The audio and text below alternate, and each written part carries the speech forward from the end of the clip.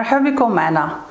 تراجع عزيز البدراوي رئيس نادي الرجاء الرياضي لكرة القدم عن فكرة إعادة اللاعب محمود بن حليب للفريق الأخضر. وذلك أيام معدودات قبل إغلاق الميركاتو الصيفي الجاري. وبالرغم من التنازلات اللي قدمها محمود بن حليب سواء تلك المتعلقة بنصف مستحقاته المالية وأيضا العودة ديالو للدفاع عن ألوان الرجاء الرياضي البيضاوي براتب شهري ودون منحة توقيع غير أن كل ذلك لم يشفع له. في ضمان مكان بالمجموعة الرجوية الموسم المقبل. وعبر محمود بن حليب عن رغبته الكبيرة في العودة للعب للرجاء البيضاوي الرياضي. وتحدث يوم أمس الثلاثاء مطولا مع التونسي فوزي البنزرتي الذي قبل بعودته للفريق بمقترح من البدراوي قبل أن يتراجع مع اللاعب المذكور بسبب الضغوطات التي مارستها عليه الجماهير الرجاوية. وكان بن حليب قريبا من العودة للرجاء. وحضر الحصة التدريبية مساء أمس الثلاثاء وتدرب لوحده بعيدا عن المجموعة الرجاوية بالوزيز. غير أن